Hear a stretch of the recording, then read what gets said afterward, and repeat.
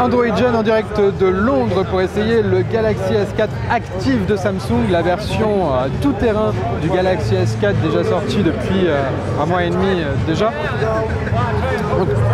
Au niveau des composants, le Galaxy S4 Active ne diffère pas spécialement de son grand frère puisqu'il reprend dans les grandes lignes exactement les mêmes composants, à la différence que celui-ci euh, bénéficiera non pas de touches euh, capacitives mais de boutons physiques euh, pour une raison évidente d'utilisation sous l'eau. En outre, son son- ses, dimensions sont un petit peu plus grandes, notamment son épaisseur qui est plus importante. Il est légèrement, plus important, légèrement plus imposant. Et dernière différence euh, de taille entre guillemets, puisque euh, le capteur photo est de seulement 8 mégapixels, seulement entre guillemets, contre 13 mégapixels pour le Galaxy S4 standard. Au niveau logiciel, dans ce Galaxy S4 Active, on retrouve tout ce qu'il y a déjà dans le Galaxy S4 normal, à savoir Android 4.2.2 avec derrière la surcouche TouchWiz et les tous les petits ajouts que Samsung a pu faire, comme notamment le S-Translator, Translator, le S-Voice et S-Health qui permet euh, de euh, faire attention à sa ligne.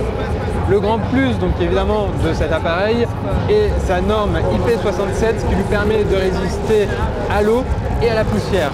Il peut être émergé pendant une demi-heure et euh, ne pas craindre notamment le sable si vous allez à la plage ou dans des endroits un petit peu euh, contraignants.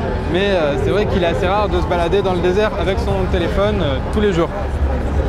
L'avantage par rapport à d'autres smartphones waterproof, c'est que celui-ci, euh, l'écran se désactive comme tous les autres, évidemment. Euh, ils n'ont pas encore euh, trouvé comment faire pour, pour que l'écran tactile fonctionne sous l'eau. L'avantage de celui-ci sur ses concurrents est que lorsqu'il est immergé sous l'eau, son utilisation n'est pas impossible. Si l'écran ne répond plus, les touches physiques prennent le relais et le- lors du passage en mode photo, il est possible de prendre une photo directement avec la touche de volume qui prend le relais par rapport à la touche tactile habituelle. Voilà, donc on retrouve là exactement ou presque notre Galaxy S4 que tout le monde connaît euh, désormais. Et avec euh, en plus aujourd'hui la possibilité de le plonger, de l'immerger sous l'eau. On va voir directement, on va aller sur le stand d'à côté pour voir directement ce que ça donne. Et donc comme on peut le constater, le téléphone continue bien évidemment de fonctionner lorsqu'il est immergé. Donc l'immersion peut être de 1 mètre pendant euh, une demi-heure.